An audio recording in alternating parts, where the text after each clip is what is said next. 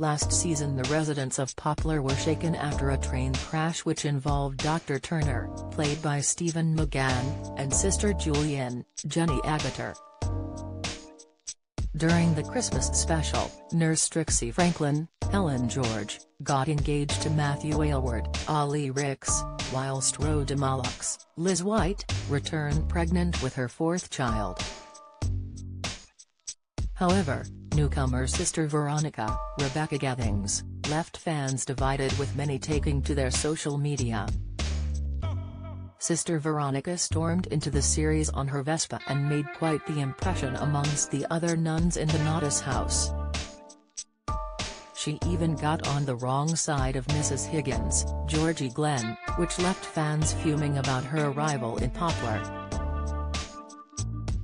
Taking to their Twitter account at Jotaloo underscore 30 wrote, I'm not warming to Sister Veronica hashtag call the midwife. Debbie Blackman commented, Sister Veronica is an odd one, isn't she? Hashtag called midwife.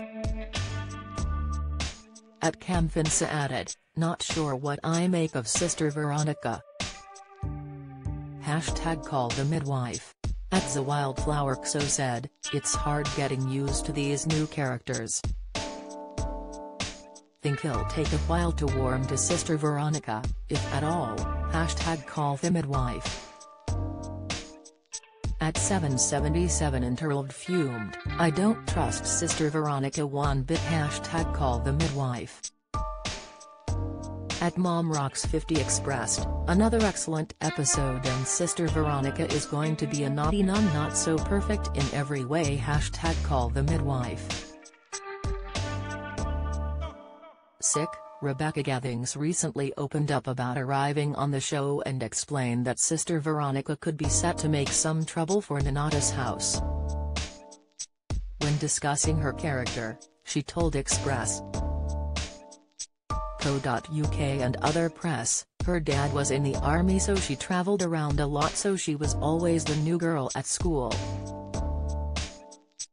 You can go one of two ways there, she has a really thick skin because I don't think she was always the most welcome person so she doesn't necessarily pick up on hints of behavior the way other people do.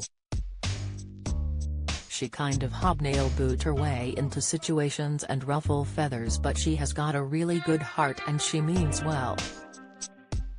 Dot Discussing the trouble that is in store, she teased, she can do yes but always with good in mind.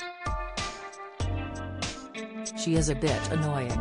The synopsis for the first episode read, It is April 1968 and change is coming to Nonnatus house. The sisters intend to make a good impression on new recruit sister Veronica. It's clear she is no shrinking violet and will ruffle a few feathers.